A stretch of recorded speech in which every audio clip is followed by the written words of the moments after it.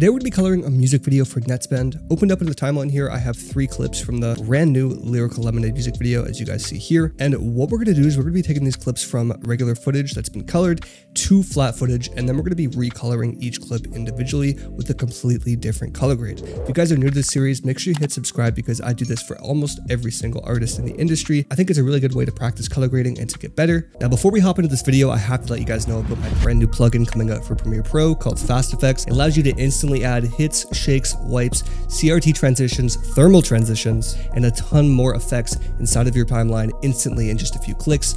Everything inside of this is fully customizable. I highly recommend going to the description below and joining the waitlist for the plugin. But you guys will have early access to the plugin, exclusive discounts, the ability to possibly beta test, and you'll be entered into a free giveaway to get the plugin for free possibly. The waitlist is down below. I highly recommend you guys go join it. There's a bunch of benefits, but let's hop right back into the video. So to get started here, what we're gonna do to decolor the footage is we're gonna click on our clip, go into Lumetri Color here, and we're gonna open up basic correction. Now I'm gonna turn down the saturation to around like 50%, maybe even uh, 40% here. And then I'm gonna go ahead and crank the contrast all the way down, and then we'll turn the highlights up a little bit, just like that. And in my opinion, I think this looks like flat footage that you would shoot out of S-Log, C-Log, anything like that. So what I'm gonna do next is I'm gonna press Control C on my clip, highlight my other two clips, and press Option Command V. And now I'm gonna make sure I have Lumetri Color pasted, and I'm press OK. And then it's gonna be pasted on these clips as well here. And it's gonna make them look like flat footage. So to get started, I'm gonna go back into project now, right click, create a new item, and then click adjustment layer.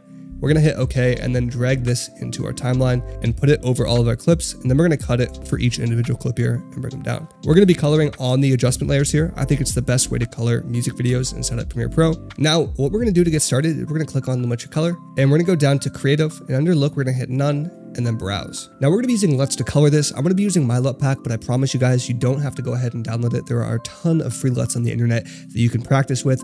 What I pretty much do is I just use this as a base, then I go in and tweak everything. You guys can use your own LUTs, but if you do wanna grab my LUT pack, it'll be linked down below. There are over 285 plus unique and different LUTs here, as you guys can see. There are a ton of them. You will actually never run out of LUTs for your videos. So let's pick a completely random one just to show you guys how versatile this is. Let's go with uh, 208 here. And we have this really nice blue look. We turn it on and off. Now let's go into basic correction and we're gonna go ahead and mess with this a little bit more.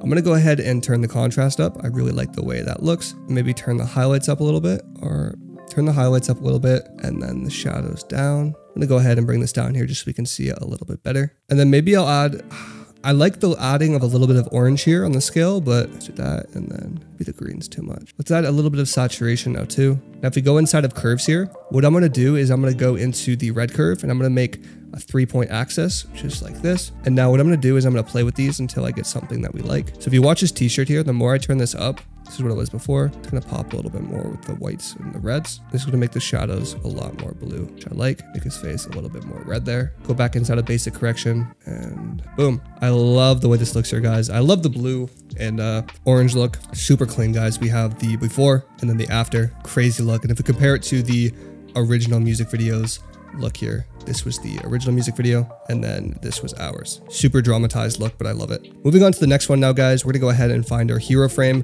which if I haven't explained before, it's finding the best looking frame where there's no motion blur and you can see the artist pretty clear.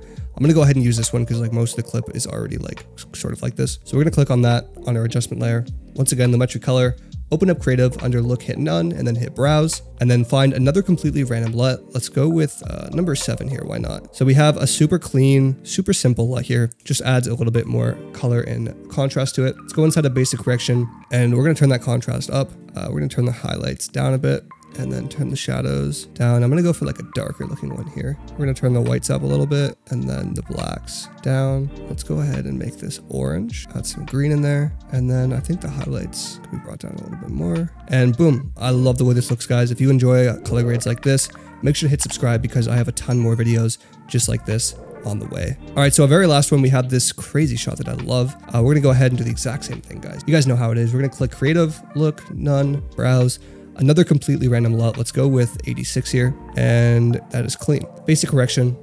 We're We're gonna go ahead and turn the contrast up, shadows down. Actually, let's turn the whites down, turn the greens down, turn the exposure up, shadows down, highlights up, and then the whites down, highlights up. And then we're gonna go inside of curves here, and we're gonna set a three point for the white curve. Now we're just gonna mess around with these. So this is like the shadows obviously here. Let's turn these down, turn the highlights up, and then the midtones, we'll turn them down a bit. And I love like, I love these grungy, super contrasted looks. I think they look really clean. Um, we have the before and then the after. Absolutely love the way this looks. And yeah, guys, those are my three color grades that I did on this Nettspend music video here. My brand new plugin FastFX that I mentioned before is coming out soon. You guys can join the waitlist down below too. Thank you guys so much for watching. I'll see you in the next video. Peace.